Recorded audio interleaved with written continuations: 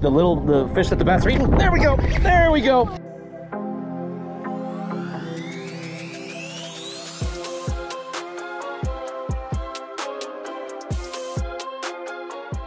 What's up guys? Today we're out fishing a popular lake by the looks of the boat ramp, man. The place is packed. We're out here with Devin and her dad, John. We're gonna have a ton of fun. First things first, man, what we have to do is dial in our Garmin trolling motor. We just got this thing hooked up the other day, but we didn't calibrate it before we went out, so we couldn't use spot lock the entire day. We had forgot to bring the remote control with us, which is necessary to calibrate the thing, but we've got it right here in the coin box. Check us out this is going to be sick, man. This thing, I'll be able to operate the trolling motor from the back if I want to, but we are to go ahead and get this thing calibrated. You're supposed to do it where there's low winds. We got lucky with that at the moment.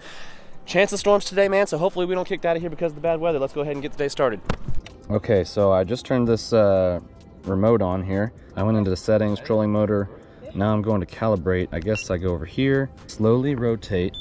Oh, hold, hold the unit level and try again. Oh, oh, like this? Okay. Slowly rotate. Oh, this. Okay. Next, slowly roll the unit until prompted. Okay, easy enough. Slowly flip the unit until prompted. Hold the unit level and try again. Okay, how am I doing this wrong? The unit level and try again. Well, now, now hold on a second, I am. I'm gonna go faster. That didn't work. What? You know what, I might be next to interference. Is it this thing? I wonder if it's this thing. I bet you it's this. Nope. I'm gonna go this way. Nope, it's working. It's gotta be working. It's gotta be working. Yes, calibration successful. Oh my gosh. okay, I think we're good now. Let's see if we can use spot lock. And now yesterday when I would hit spot lock, it was giving me like a beep beep, like you can't do that. Let's see what happens here. Spot lock. Uh-oh. It did it again. Why did it do that? What if I hit it on the remote? Trolling motor not connected. Oh, well, the remote's calibrated. Okay. Today, we're going to show you how to pair your wireless remote control to your force trolling motor. Good, because I'm having issues. On the trolling motor display panel, press the power button three times to enter pairing mode. Mm. Got it. Now maybe it'll work. I still think it didn't. Select Start and follow the on-screen instructions. I think we figured it out, y'all. I calibrated the remote, but I didn't calibrate the actual motor, so now I'm calibrating the motor. We gotta turn the boat two full circles, keeping it level, so don't flip your boat while you do this. I think we've done two full circles. I don't know if this thing's gonna tell me I've completed it or not. It hasn't said anything. All right, I'm just gonna, I'm gonna hit that. Oh, I have to have started it. It says that's what I'm supposed to do, but then you start it. Now, okay, now it's saying I'm it's 18% done. Okay, so here's how you look like an idiot on the lake doing four circles on your boat while you're trying to calibrate stuff. Golly. Yeah, they know they know we got a new boat. Jeez. Compass calibrated. Okay. Can we spot lock? Oh my goodness. We're locked. Oh gosh. Okay. We are set, guys. Let's go ahead and get on the road. Let's catch some fish. This is legit. Yep, she's working now. Okay, let's see if we can catch some fish. Oh, there's some fish. Yeah, there, there's some stuff swimming along this dam. All right, we're gonna make a move to the other side of the lake, y'all. Okay, so this one's different. I got her set up. This one right here, it's like a little fish. Just check him out. You see him swimming? Yep. They're gonna smoke this thing.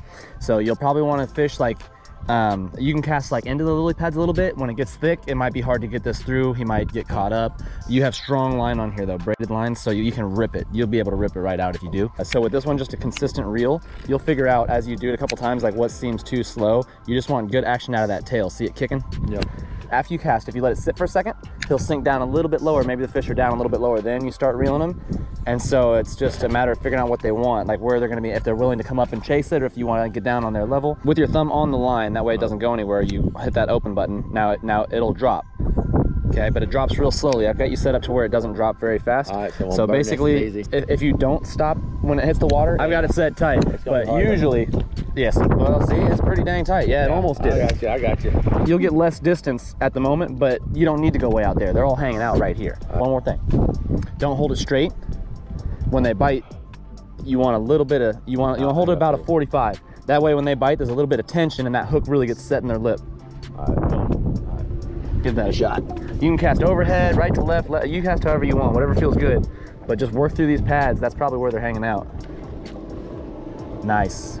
Let's do it one more time after this. Use your left hand too on the butt end of that handle, I'll show you. And you don't even have to pop it. This guy, Oh, just just swimming, yep. And he's down there on their level. I think that's probably the perfect speed. Maybe even a little bit faster because you want that tail to kick. So just a little bit faster than that. Okay, so open it up. Now use your left hand a little bit. Put your left hand on, on the back end of that. Now, boom, you can get a little leverage. Yeah, you can really get it out there. Alright. And since you're casting with the wind, I'm gonna loosen up the settings a little bit and you'll be able to get some more distance. You wanna find that perfect balance of where you can get the most distance and not backlash. It's only a matter of time till this thing gets a fish. And this is a lot different working baits that are always moving. It's it's it's really fun. And the brakes down a little bit. It's on maximum. Yeah. So I'm gonna rotate that. A, we'll rotate that a couple twists. Give that a twirl. See what happens. Open that up. All right, so that's better distance. Now you might feel a little resistance as you cruise through those. That's fine. Just keep it keep it cruising. I'll show you one more thing here in a second. Okay, so next and probably last is your grip. So you're holding the rod, but it's a little bit different than those uh, spinning ones where you are holding it just like that, not the reel. On these guys, you want to almost cup the cup the reel. They call it palming it. So that you'll find, especially if you have a fish on, it's it feels awkward at first and it doesn't feel right. But once you get it, probably between the pinky and the ring finger, once you get that grip right there, you'll be feeling real good. You won't you won't want to be able to hit that on accident. So don't hold it like this. Yeah. Get your thumb over it, and that that's that's real comfortable. All right. Yep. Matter of time. And I'm gonna throw the same thing. I'm gonna see how fast we can get one. Oh. Okay, so I like the way this looks. It's kind of like an opening to get in there. So go ahead and cast as far as you can in there. Try and work it through that open. ironic about getting birdness on this is I'm fired guys for birdness to cranes before. you hold it almost like with the rod tip a little closer to the water or down, it's more comfortable on the wrist. It's, it's uh, what most people would do. So give that a whirl. Down at a 45. Yeah, a little awkward there with the motor. You could walk to the left side of the motor if you want, because if something hits, you're gonna go boom and spank that thing. Yeah, there we go. Keep working a little bit. Oh, there's one. There, there went one. There's another one. Five feet in front of the boat. Guys, this is so crazy. We're on spot lock, so like the motor's moving around, and as it points different directions, it's seeing different areas inside the water, and we're just seeing fish cruise through here. I'm gonna, you'll see them dart every once in a while.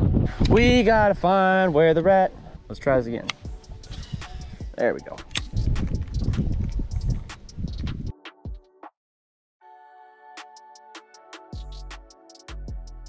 Come on, come on, come on. Oh my God, that looks so good. Man, they are just not in here. All right, we tried the frog for a second.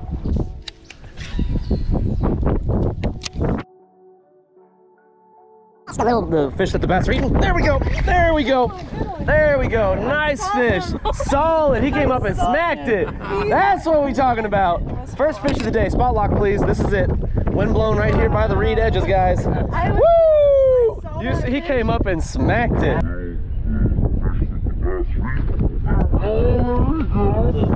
Oh, there you go. Good one. Good one. Get him in. Get him in. I saw him. Solid. He came I up and saw smacked him. it. That's a fat one. Let's test out this live well. We've never used it before. Uh, I'm gonna go manual and I'm gonna go recirc. Crazy. All right, y'all, this is something special. I'm holding this fish in the water and I'm working the trolling motor, trying to get us a little bit further away from this spot that we're in. And then I'm gonna spot lock us out here because we're gonna come back in here and hit this spot some more. I wanna get us away, that way the trolling motor doesn't spook any more fish in here.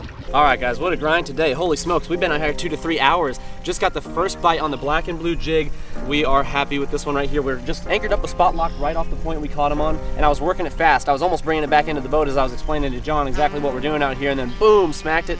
What a bite. I've got us uh, anchored down with the remote control that we're using for the first time. It's been a day. We're finally getting on something here, and I think we're just gonna toss in here with some more black and blue bottom baits and see what works. The live well's filling up. I'd say this guy is a chunky two pounder. We'll go ahead and weigh him real fast for you guys. All right, y'all, we're zeroed out. Let's go ahead and get this fish on the scale. I think it's gonna go more than two, but uh, we'll see how much more. Oh yeah, fat little two and a half, 2.57 guys. First fish of the day. Let's see if we can't get some more on this windblown point right here. All right, I think what we're gonna do is make a move to uh, another lake close by. This remote though, I gotta tell you what, is the bomb. Like I don't even have to be up at the front. Devin can hold on to this if she wants. You can get out of sticky situations. The wind has been blowing like crazy and you can just keep yourself away from the reeds or potentially dangerous objects from the back of the boat. It's been very useful today. Devin says she just had bites, but well, let's work the bank for just another minute on that note, and then we're gonna go ahead and get that fish out of the live well, and we're probably gonna make our way to this other lake here in just a second. Stay tuned. Wait for me. He's gonna stab you. Gotcha. That's a good looking fish. He's a pretty fish. He's fat. Getting pumped for the summer. He's got a summer bod going. Here, you do the release. it's your fish.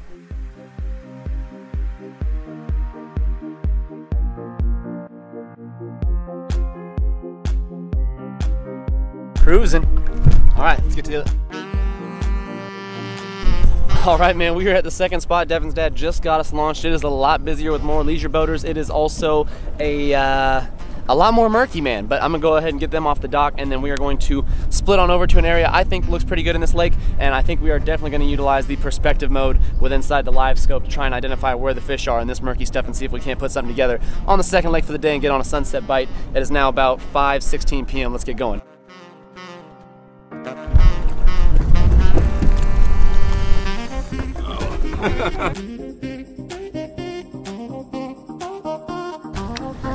And you might get stuck. If you do, we'll try and get it free.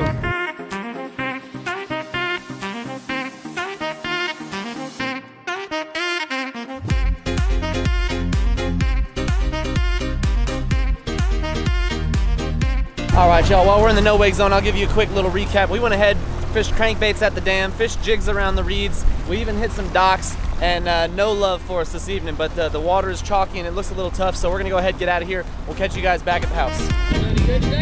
Uh, no, not here. Go ahead. What's up guys, welcome back to the house and happy Memorial Day, man. I'm just finishing up this edit. We uh, unfortunately didn't get too many fish, but I hope you guys enjoy the informational side of today's video. A ton of bait caster tips if you guys are new to the game, new to using the casting bait, uh, not baits, casting reels.